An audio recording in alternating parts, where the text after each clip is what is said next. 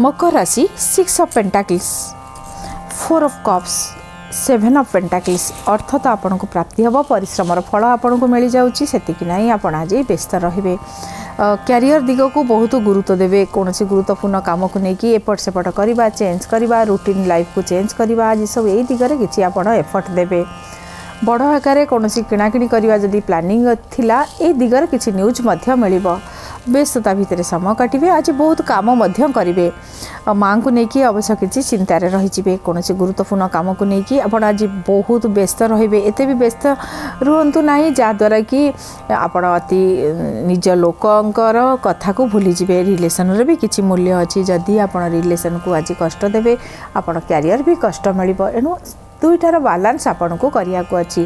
ଯେଉଁ ସମୟରେ ଯେଉଁଟା ଇମ୍ପୋର୍ଟାଣ୍ଟ ତାକୁ ଗୁରୁତ୍ୱ ଦେବା ହେଉଛି। ବୁଦ୍ଧିମାନର କାମ ଆଜି ବୁଦ୍ଧିମାନର କାମ କରିନିଅନ୍ତୁ ଦେଖିବେ ଶାନ୍ତି ବି ମଧ୍ୟ ପାଇବେ। ଆପଣଙ୍କ ପାଇଁ ଶୁଭ ରଙ୍ଗ ନୀଳ ରଙ୍ଗ ଶୁଭ ସଂଖ୍ୟା।